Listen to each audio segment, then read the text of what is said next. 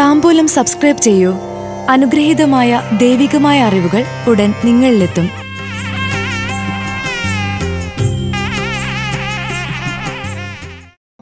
പുതിയ കൊല്ലവർഷം ആയിരത്തി ഇരുന്നൂറ് പിറന്നു. ചിങ്ങം മുതൽ കർക്കിടകം വരെ അശ്വതി നക്ഷത്രക്കാരുടെ യോഗഭാഗ്യങ്ങൾ. കൊല്ലവർഷം ആയിരത്തി ഇരുന്നൂറ് ഭാഗ്യവർഷമായിരിക്കും അശ്വതി നക്ഷത്രക്കാർക്ക് ചിങ്ങം മുതൽ കർക്കിടകം വരെയുള്ള പന്ത്രണ്ട് മാസങ്ങളിൽ എന്തെല്ലാം നേട്ടങ്ങളും കോട്ടങ്ങളും കാത്തിരിക്കുന്നു എന്നറിയുക.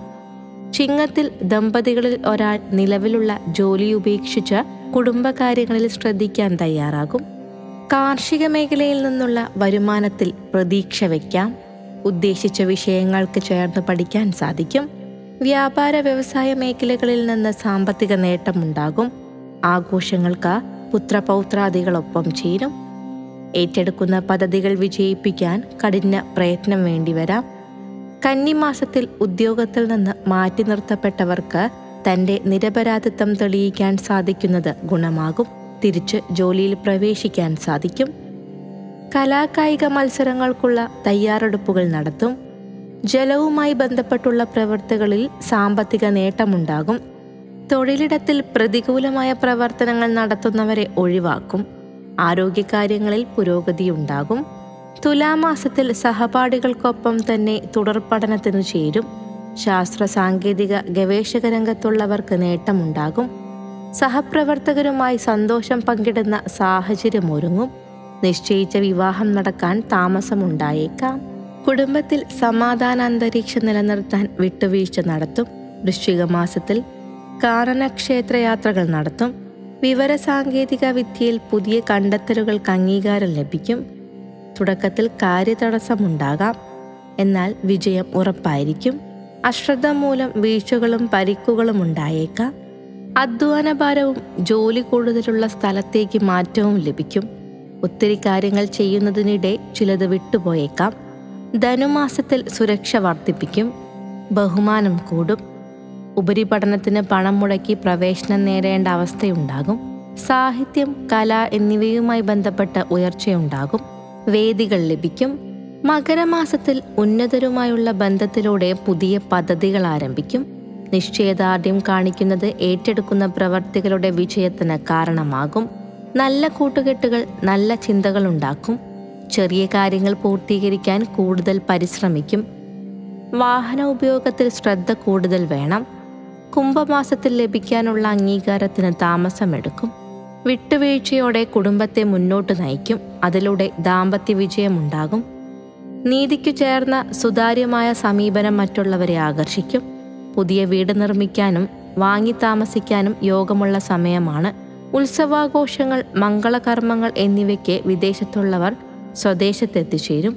മീനമാസത്തിൽ സന്താന സൗഭാഗ്യം വൈകുന്നവർക്ക് മരുന്നും മന്ത്രങ്ങളും അനുഗ്രഹവും ലഭിക്കുന്ന സമയമായിരിക്കും. അവസരങ്ങളിൽ വിട്ടുവീഴ്ച കാണിക്കാതിരിക്കുക. പാരമ്പര്യ പ്രവൃത്തികൾ പരിശീലനം നടത്തി പ്രാവർത്തികമാക്കും. ഗുരുതുല്യരുടെ വാക്കുകൾ ജീവിതത്തിൽ യാഥാർത്ഥ്യമാക്കുന്നതിനാൽ അവരോട് ആദരവ് തോന്നും. ജനോപകാരപ്രദമായ പ്രവർത്തികളിൽ ഏർപ്പെടുന്നത് ആത്മവിശ്വാസം വർദ്ധിപ്പിക്കും. ഒപ്പം ആത്മസന്തോഷവും നൽകും. മേടമാസത്തിൽ സത്യസന്ധമായ പ്രവർത്തനങ്ങൾ കാഴ്ചവെക്കുന്നതിലൂടെ വിമർശനങ്ങളെ അതിജീവിക്കും. സ്വന്തം നിലപാടുകളിൽ നിന്ന് വ്യതിചലിക്കുകയില്ല.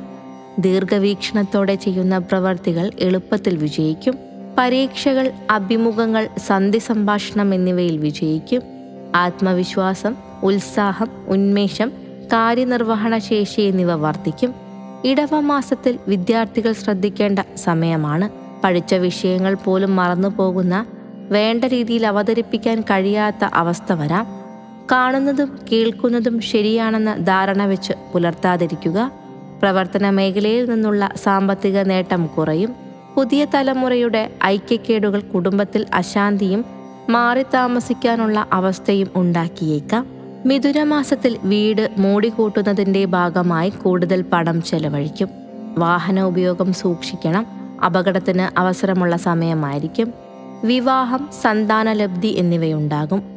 മതവുമായി ബന്ധപ്പെട്ടവർ ശ്രദ്ധിക്കേണ്ട കാലമായിരിക്കും. വിൽപ്പന ലക്ഷ്യമാക്കി ഭൂമി സ്വന്തമാക്കും.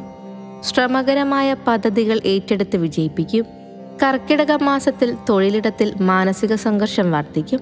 ഗർഭിണികൾ കരുതലെടുക്കേണ്ട സന്ദർഭമുണ്ടാകും. പുരാണം ഇതിഹാസം ആധ്യാത്മിക കാര്യങ്ങളിൽ കൂടുതൽ ഇഴകിച്ചേരും.